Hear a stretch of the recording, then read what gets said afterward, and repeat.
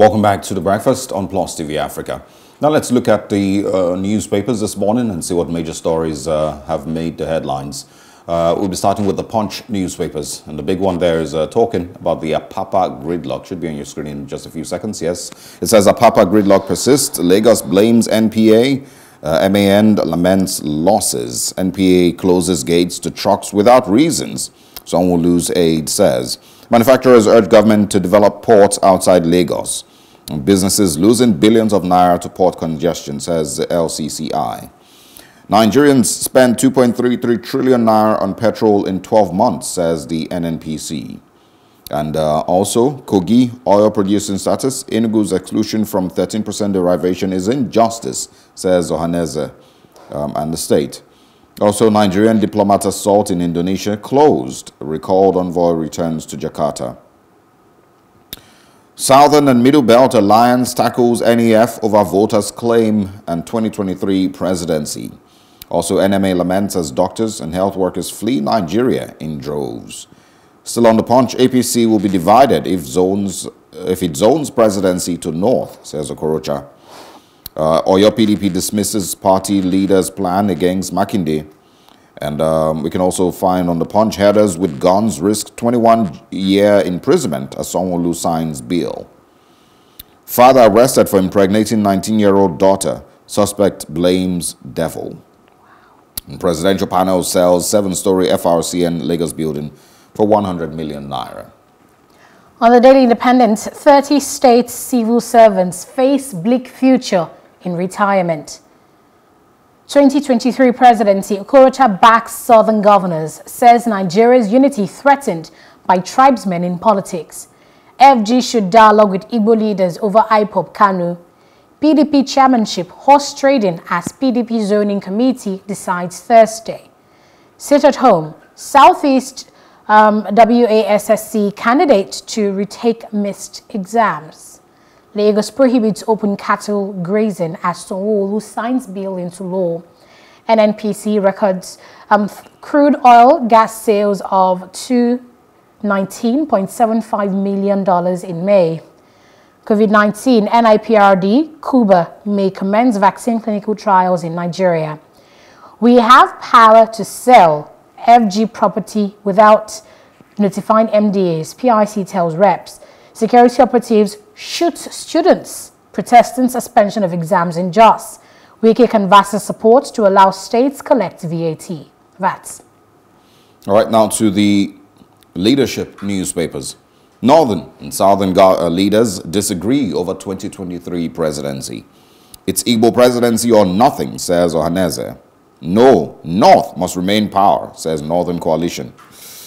Afenifere PANDEF faults NEF's population claim. Niger Delta activists back Southern governors. Um, Osinbajo sellable in 2023, says Governor Sule. And also Nigeria's unity unshakable, and that's from the federal government. Northern governors Mon May Lafia and Sokoto shuts down telecom network in 14 local government areas. Sanwo-Olu signs anti-open grazing bill into law. And also on the leadership, Kaduna, Ekiti, Anambra, Akwa lead in fiscal transparency says a report. Uh, finally, on the Leadership Monthly Deadline Institute uh, directs firms to remit value-added tax to FIRS. All right, and then let's also quickly see what we can find on the Daily Trust newspapers. How Boko Haram killed, or how Boko Haram crisis killed 300,000 children in Northeast. Young boys used as suicide bombers. Many died of malnutrition. 1 million others displaced in 12 years. Attacks on children must stop, says UNICEF. And um, ISWAP intensifies recruitment, Army says. Reps demand reports of assets seized from ex-leaders. And NNPC earns 366 billion naira from crude oil product sales in May. Osinbajo most, quali most uh, qualified rather to succeed Buhari in 2023, says the Nasarawa state governor. Plateau Cross River reject compulsory COVID-19 vaccination. That's all we can find on the Daily Trust. Good morning to Mr. Chris Nwandu. Thanks for joining us once again. Good morning. Good morning. All right. Um, I think you can start with the conversation on zoning. Uh, Ohanaeze says um, presidency must come to the southeast. Uh, the uh, Northern Coalition is speaking once again about having the numbers to hold the presidency for a lot longer. And White must also come to the north. And of course, uh, there's also Governor Sule mentioning the Vice President Yemi Osinbajo. Um, so let's start off with that. Um, every region in Nigeria has the right the president as in the past. But this will be a that anything that the region must um, so it is a pure agreement of the All right. I think Mr. Nwandu, uh, it's a, it's a struggle. Uh, president into area uh, to, uh, actual turn to the north and, uh, and the south. All right. I, I think it's a, it's a struggle listen, you know, hearing um, Chris Nwandu this morning, We might be having challenges with the network. So we're going to have to reconnect with uh, Chris Nwandu, who's a publisher of CKN News, and get him to share his views on these stories. Um, the first one, of course, he was speaking about is concerning zoning. Um, I think there's a couple of people who have made, who have mentioned there's a Northern Coalition that say the, of course, North, you know, has the numbers to hold the presidency for, um, you know, a lot longer. Um, I think that I also saw a story on uh, Baba Ahmed, you know, still speaking about the same zoning controversy. A lot of people would have the same argument that yes, it is, um, you know, uh, um, every section of the country has a right to vie for presidency. Um, but of course, the idea of zoning, you know, really is to is to ensure that every single person gets a turn, gets a chance at the presidency, uh, the seat of the you know the president. But you know, it also goes beyond just presidency. Even in states and local government, there's also that same zoning arrangement uh, where you hear that oh, this you know, local government has had it for four years, let's give it to this local government next, or these people are coming next, and some of all of that. And so they always play those internal politics. The p- political parties themselves also play that politics and say, okay, whoever is going to be our national leader, you know, would be from the south or be from the north, and then the president, uh, the person who, who gets the ticket for president will be from a totally different region. Um, so there's that. Okay, let- let's bring back uh, Chris Nwandu. Uh, can you hear us now? Yes, I can. All right, go ahead, please. Yes, as I was saying, so um, not expressly um, uh, Nigerian constitution that any particular part of the country uh, we put the presidency. It is just a, a gentleman agreement in the political party uh, to tread that line. I think it has been working effectively.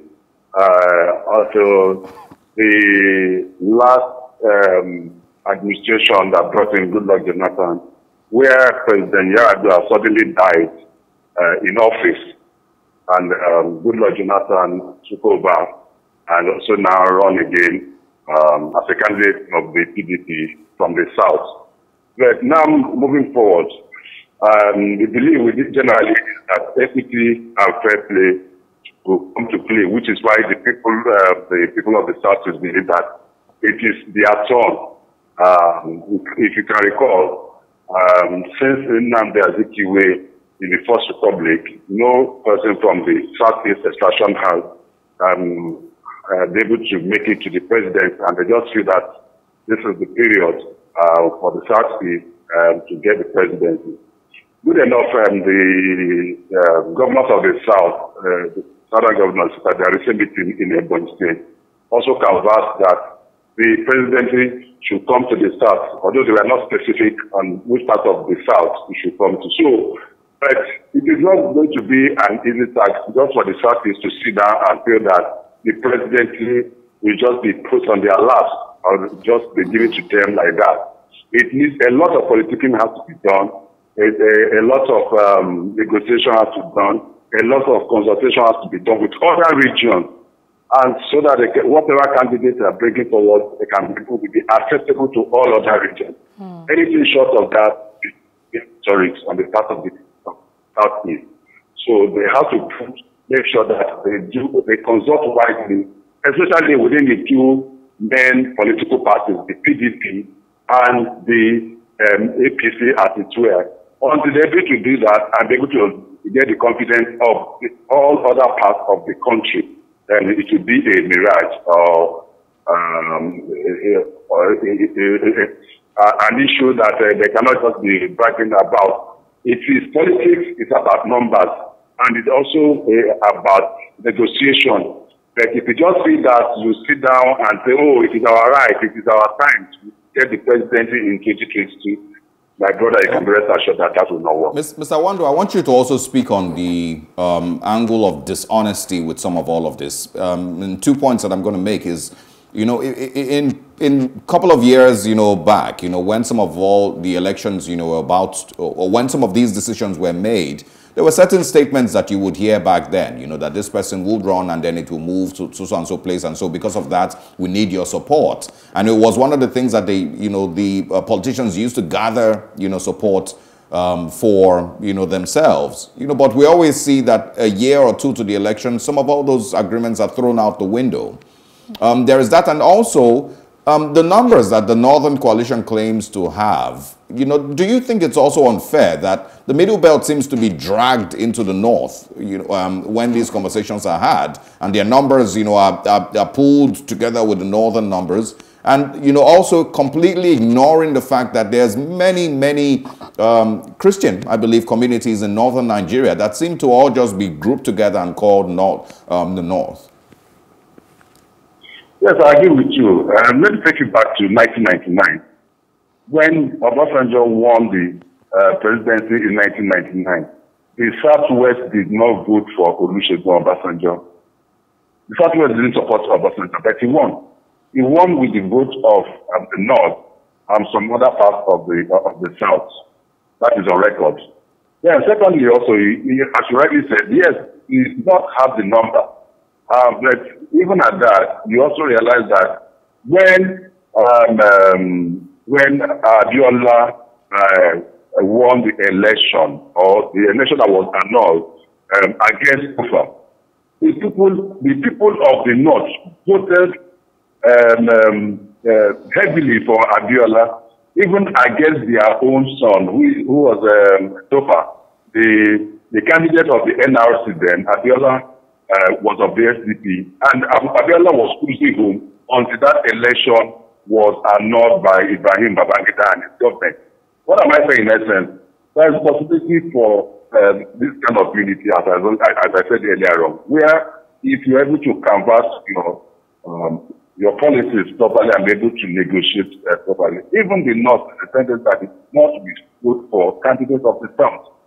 Then, uh, I want to say that, yes, there are Christians in the north, um, especially some parts, the major part of the north, like uh, place, especially in the middle, within the middle belt, and even in Kaduna, Sada Kanda, I mentioned.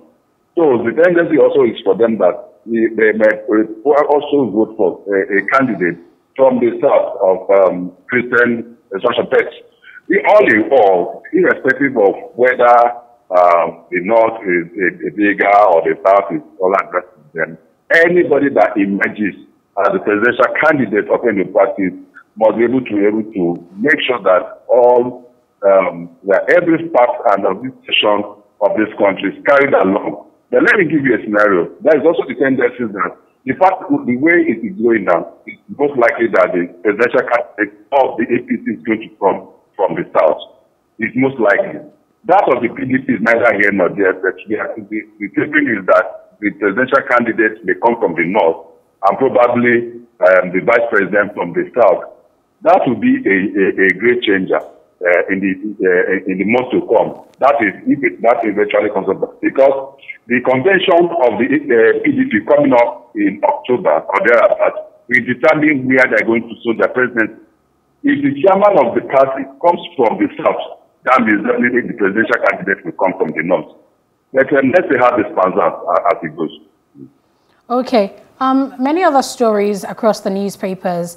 Um, I want us to look at the one on the Daily um, Independence this morning.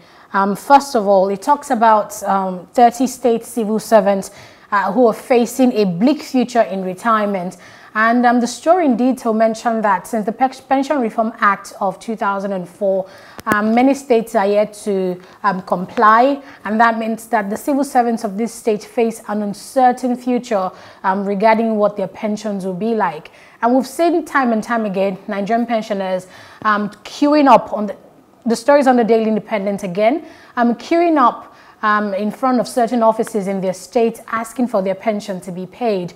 Since 2004 till now, over 30 states yet to comply Which way? Which way? Which way Nigeria? You remember the, the music by one of Nigerian's legends, uh, Sonny Okosun. The music was "Which way Nigeria? Which way to go?"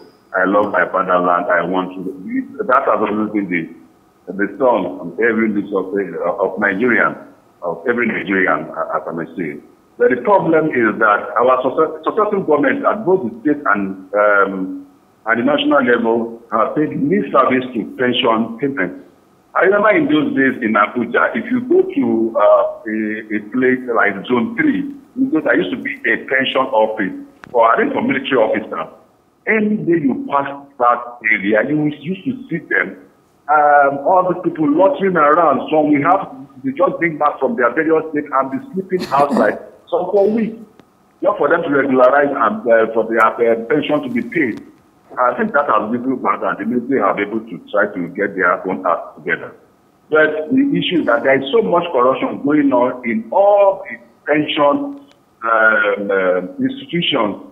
Don't forget that a, a, a particular man that was uh, um, Maina, that was um, appointed as the chairman of the pension uh, um, what do you call it now? I, I can't remember what it was called. Instead of making sure that pensions are paid, he this and embezzled billions and billions of naira that were meant for pensioners. And at the end of it all, he was prosecuted. He ran away. He, he joined bail. And only it was recently that he was rearrested in uh, Nishi or thereabouts and brought back to Nigeria and now continued. So that has been the problem. But the issue we have is that most states are paying lip service. This is the entitlement. This is the entitlement of these workers. They labor and they're supposed to, when they're supposed to reap uh, the fruit of their labor and nothing is being done. It cuts across streets and it becomes very difficult. But you see these um, um, government officials, governors, deputy governors, speakers, and the rest of them, even at once they leave office, they budget so much for their pension Mm. Even when they are not pensioned, when they are not even, they've not retired. Some of them leave government house as governors and move to the National Assembly to become senators and uh, and what have you, and continue collecting salary there and also collecting pension. So I think something drastic has to be done. Uh, what I believe that there might be, uh, if the federal government and National Assembly can enact a law where this money can be deducted from source, directly from source, and paid directly to the uh, to the pensioners, I don't know how that can be done. Instead of just making waiting on the state government and, um, and the federal government to handle the issue of pension, most of them die waiting for their pension. And it's quite unfortunate. A lot of people just do that and invest all this money. Mm. And that is where we find ourselves in Nigeria. All right. Um, you can also quickly share on the Lagos State Governor signing the anti-open grazing uh, bill uh, yesterday. Um, he has, of course, uh, been commended in a few quarters. But quickly share your thoughts on, you know, how that is going across the southern states. Well, Governor Babajide is only following um, the agreement or directive of the southern southern governors at the meeting that they held. I think it was in Lagos that they held a meeting, and it was agreed that open grazing should be banned uh, in the whole of the south. And I think uh, only is only following suit. Um, don't forget, Ondo State have done that, and some other uh, river states, I guess, as well, and some other states have been able to do that. But my own challenge is, despite agreement by the southern governors, some state governors are still very hesitant in signing that bill. And I don't, I don't know why they are doing that. Um, so the governor of Imo State practically says that it's not going to be part of it. And um, then some other states are not. But I think this is the way to go. The relative peace we are having in Benue State now was due to the signing of the open grazing um, law.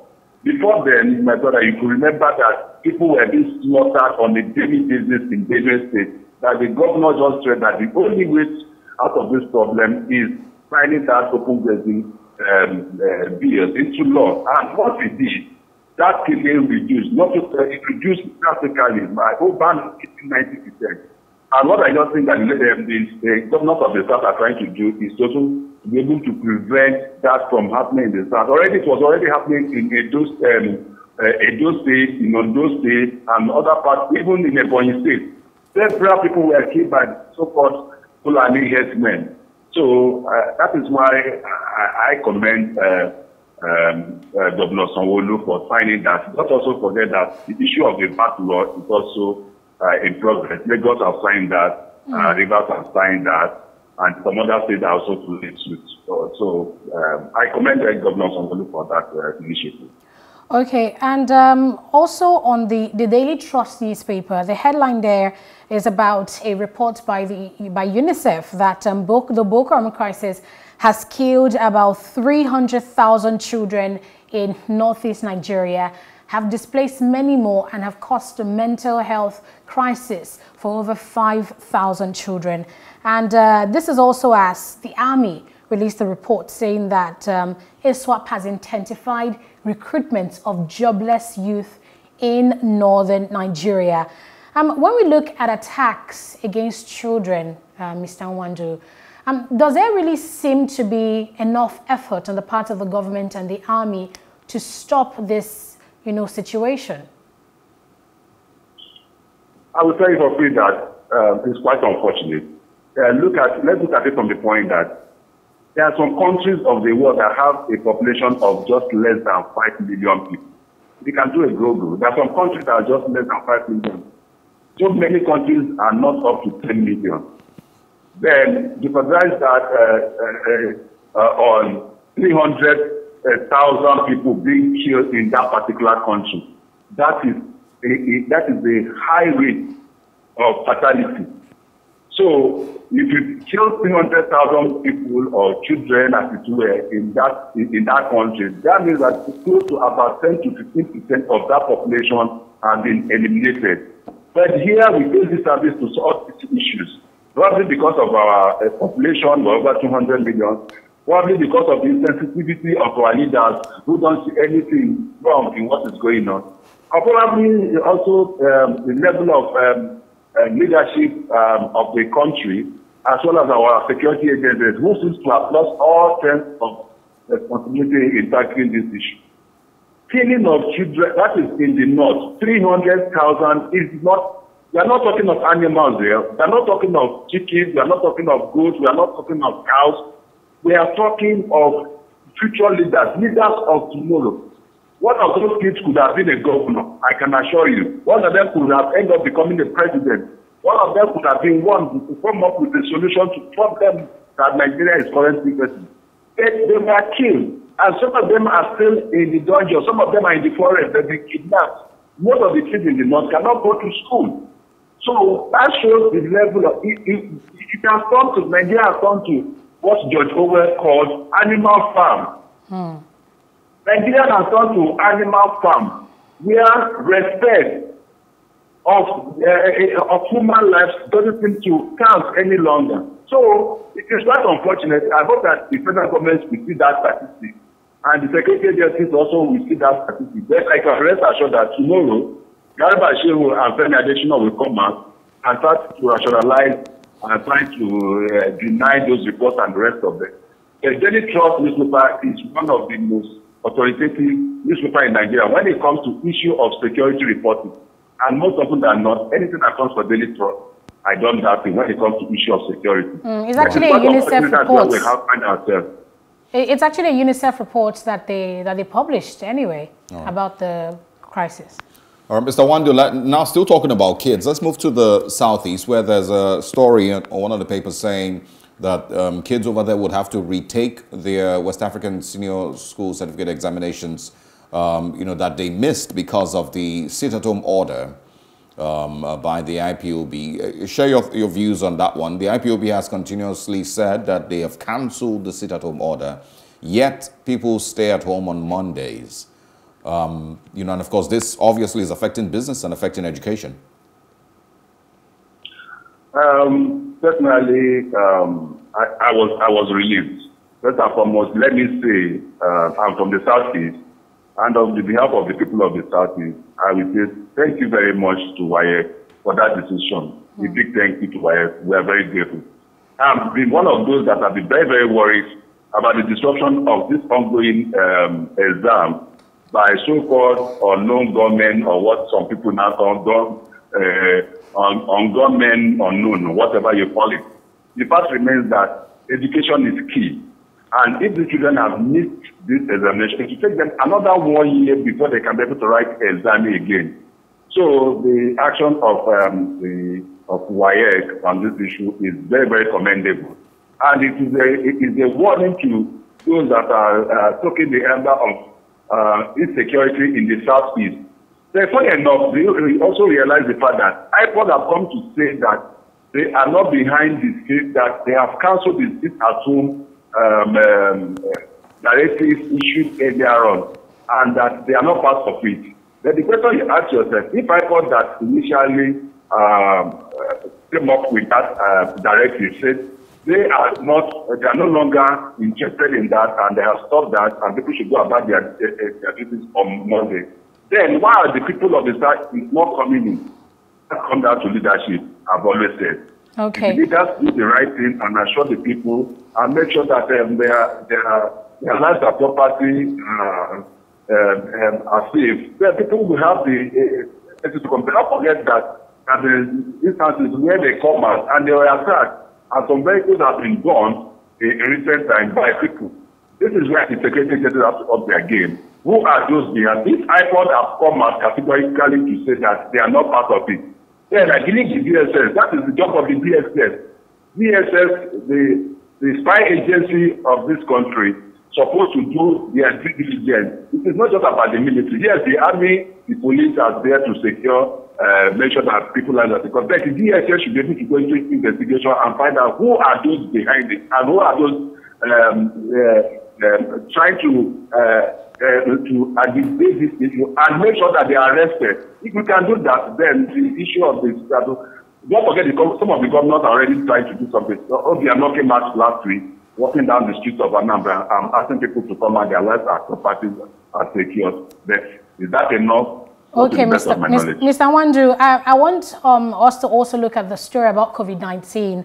On the Daily Independent, there's a story here that says um, the Nigerian Institute of Pharmaceutical Research researchers and um, Cuba are collaborating to conduct clinical trials of COVID-19 vaccines in Nigeria um, later, you know, in the next few months. So while that's going on, while there's about to be a collaboration between Nigeria and Cuba for clinical trials um, of COVID-19 vaccines, and we see a story on the Daily Trust that says that Cross River and River States reject compulsory COVID-19 vaccine, even though Edo, Ondo, and Osun states have made it compulsory um, for civil servants in their own states. But this one here, it is uh, the Cross River State Commissioner for Health, Dr. Betta Edu here, that's saying that there is no need to make the COVID-19 vaccination compulsory um, for citizens and they don't need to impose it. And in Plateau State, the same thing, the State Commissioner for Information and Communication um, really said the same thing. So how do we balance this? Um, co international collaboration for COVID clinical trials, some states making it compulsory and others saying it wasn't necessary?